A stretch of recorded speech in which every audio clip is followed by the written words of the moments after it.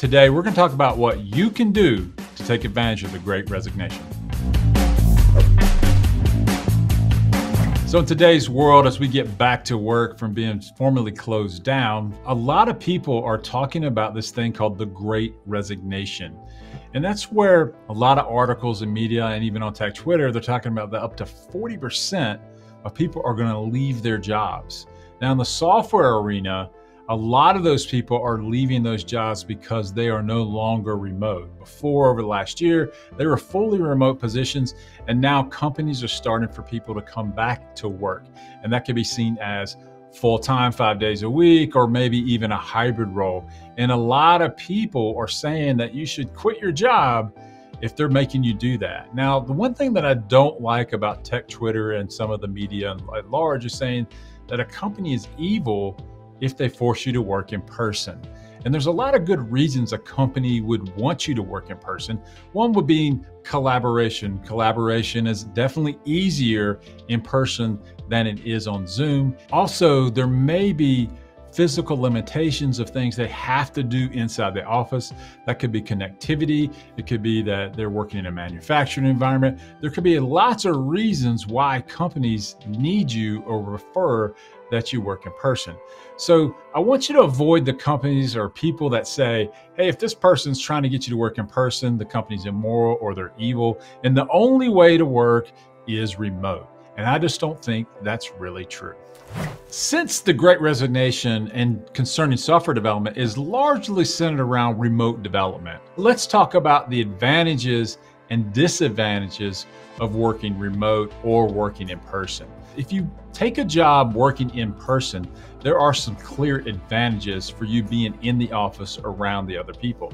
The first thing that you do is you can build relationships with people easier in person than you can on Zoom. Zoom is typically scheduled meetings. You're typically not hanging out all the time. And it's usually just meetings where you have like a task list and things you can get through. And while that may seem productive, a lot of times, a lot of business decisions sometimes are made around what we call the water cooler or a happenstance meeting that you pass someone in the hall and they say, Hey, I want to ask you about that. What are you working on? And so you can build relationships with people that aren't necessarily in your area. That could be a leader in another area, let's say in business development or maybe in marketing, and that could give you lots of opportunities. You also may have that happenstance meeting with the owner of the business or the chief executive officer, and that can lead to conversations, which can lead to more opportunities for you by just being in proximity to the people you work with. You also build, I think, very useful skills, and that skill being social interaction skills, being able to communicate well in front of others. Being nice is another skill that a lot of people have a hard time doing with, especially as us coders are a lot of times very introverted. This can force us to be more extroverted, which can lead to more opportunities for us.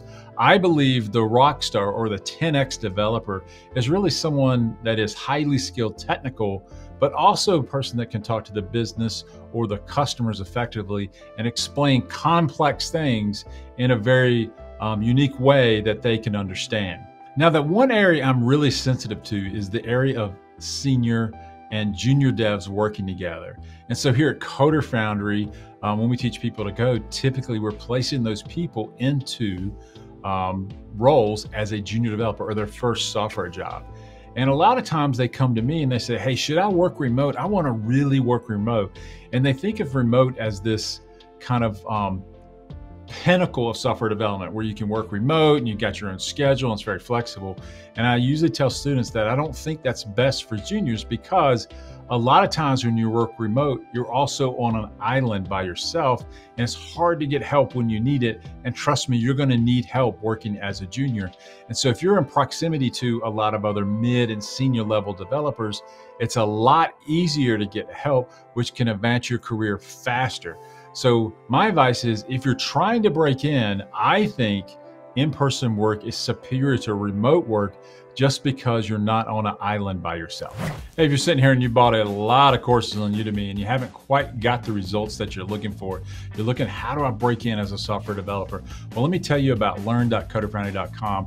At Coder Foundry, we have built a complete course from soup to nuts to give you everything you need to know to learn how to code, but more than that, break into the software development industry. Go to learn.coderfoundry.com and let's get you on the right track to getting that first software job. Now, obviously, not everything about remote development is bad. I do believe that for a certain amount of people, especially in those senior roles where you don't need a lot of help, you don't need a lot of guidance, that you can truly just work on your own time and your own pace and be very productive for the company in a remote fashion. Now, one of the big advantages, obviously, if you're living in a city or something like that, is that the commute, you no longer have to make the commute, especially in New York or San Francisco. We know that those commutes can be kind of brutal. And here in the tech capital of the world, Kernersville, North Carolina, you may have a 45 or 50 minute commute depending on the area that you're trying to travel to and where you live. And that can be very time consuming when you think about two hours of your day is spent driving. So the commute is definitely a disadvantage to it. Now, I'm of the belief that sometimes the commute is great. It gives you downtime. Maybe you get that, that sweet audiobook or something like that as you drive.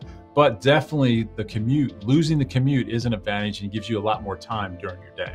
Now, another advantage to working remote only is geographical limitations. So if you have to work in person or all the companies are working in person and you live in a certain area like North Carolina, you're going to have to work within driving distance of that place. And remote opportunities allow you to work in any city, any town, and really any country in the world. And so remote does open up the opportunities that you could possibly code on.